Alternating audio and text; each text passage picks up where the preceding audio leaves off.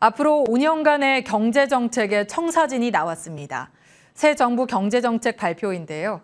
이 경제 위기가 장기간 이어질 것으로 보고 성장률 전망을 내려잡았습니다. 대신 경제 규제를 혁신하고 세 부담을 줄여 기업과 시장 중심으로 헤쳐나간다는 전략을 세웠습니다. 유찬 기자입니다. 그야말로 복합 경제 위기 극복을 위한 경제 전쟁의 대장정이 시작된 것이라고 할 수 있습니다.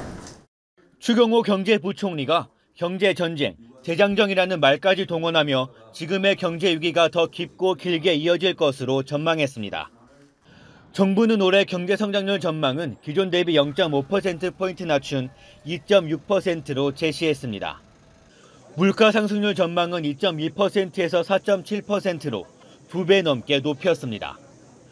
정부는 민간 중심으로 경제 체질을 개선하며 경제 위기에 대응할 계획입니다.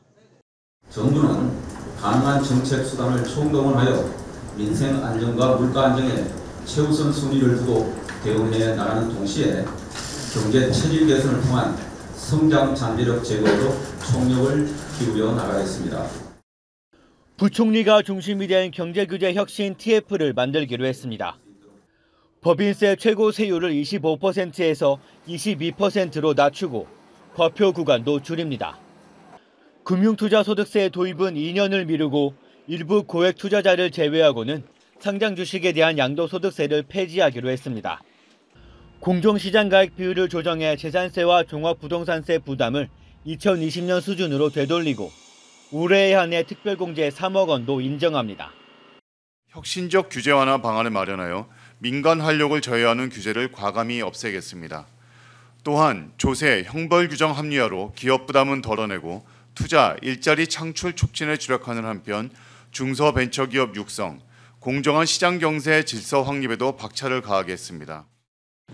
공적연금 개혁위원회를 구성하고 내년 초까지 국민연금 재정 계산을 마무리해 연금의 지속 가능성을 확보합니다. 정부는 법령 개정과 예산 세법 개정안 반영 등을 통해 이와 같은 새 정부 주요 정책 과제들을 추진해 나갈 방침입니다. 머니투데이 방송 유찬입니다.